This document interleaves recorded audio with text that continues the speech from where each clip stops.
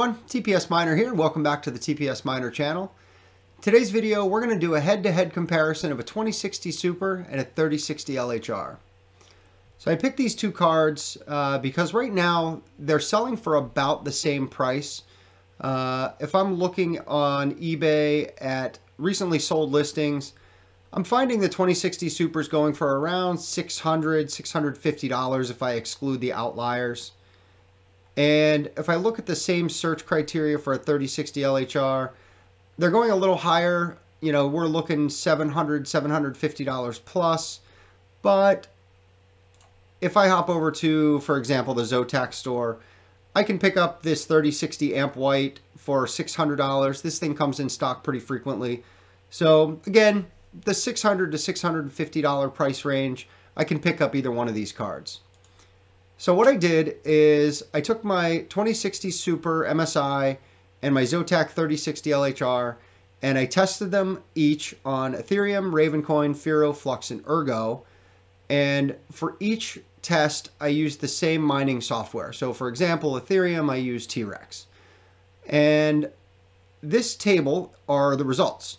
So if we look primarily focused on efficiency, which is kind of where I'm looking I'm looking down the road. I'm looking for when Ethereum goes proof of stake. I'm looking for if and when we get into a bear market.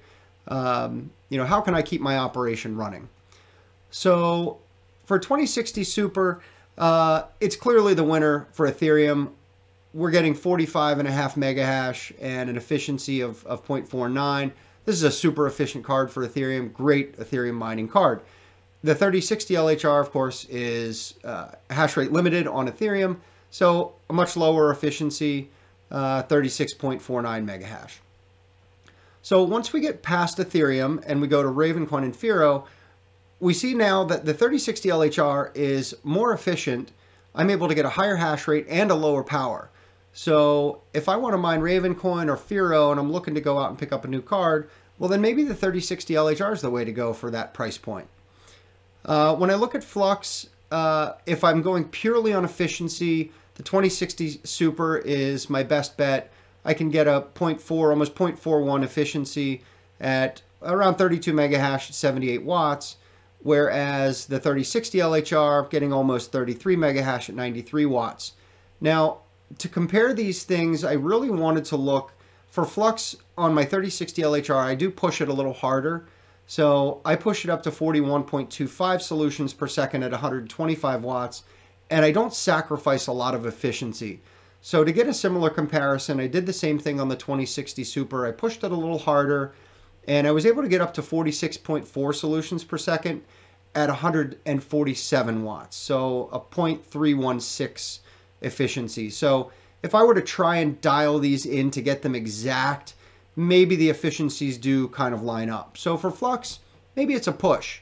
For Ergo, if I'm looking purely at efficiency, um, really they're about the same, but I can push the 3060 LHR up to 140 mega hash, whereas for that same efficiency, I can only get 88 mega hash. So again, even though the efficiencies are the same, the 3060 LHR in my book is going to be a better option. So I'm not recommending one card over the other.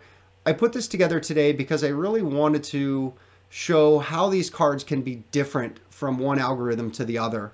Uh, while it may be clear that the 2060 Super is the best card to buy because you're only looking at Ethereum, that may not be the case when you're looking down the road at what that card is going to have to switch to once Ethereum is no longer mineable and is proof of stake. The other thing to think about is what type of resale value are we going to have? Um, I don't know the answer to that. I don't think anyone does.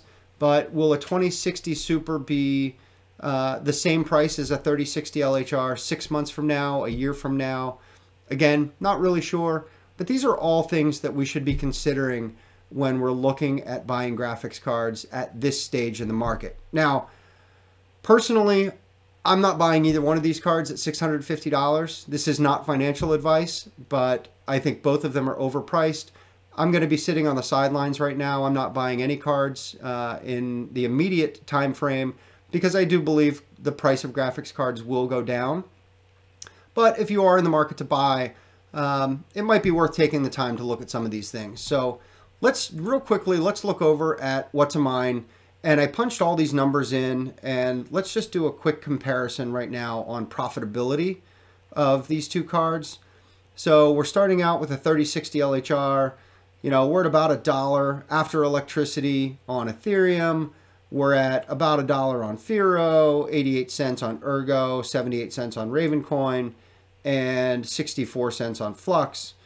So really, we're we're a dollar and below on everything for profitability on the 3060 LHR. And let's take a look at the 2060 Super and do the same comparison.